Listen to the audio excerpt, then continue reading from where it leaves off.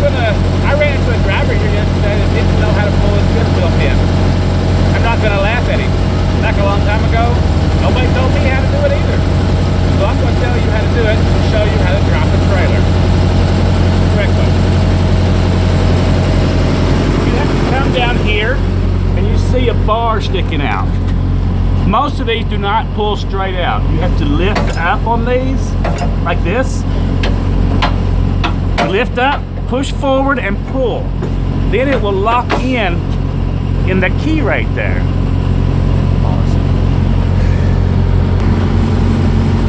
This is how you do your lines. That's very simple, isn't it? If you were going to be driving anywhere, you would want to stow these in the appropriate receptacles. But we're going to pick up another trailer. So we're going to dolly down. So now we're to dolly down. And I want to show you a trick, and it won't work for everybody. When dollying down, you'll want to make sure that you're in high gear so it goes down quicker. That is not high gear. Maybe it is.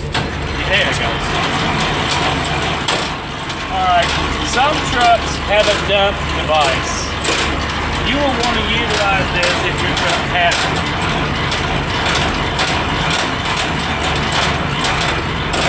You're going to see that people will hit the concrete and then they will spend 10 minutes trying to crank it up in the air. This is not a good idea because when the next driver comes along and he load hooks up to that trailer, he's going to top his fifth wheel and run into the back of his truck. And if he finds you, he will kill you.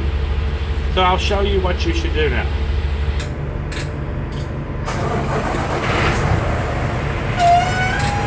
So what we're going to do now is dumping the airbags on the truck.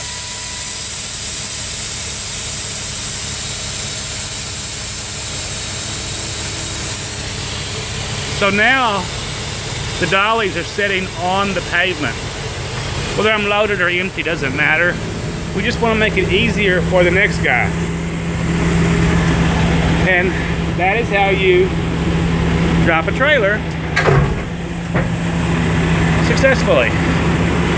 Make sure that after you pull out from under it,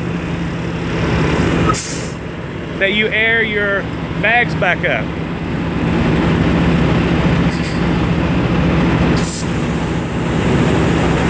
Okay, you can see the frame coming back up. If you drive around with your airbags dumped, you will tear up your transmission and your drive train and everything. Thanks.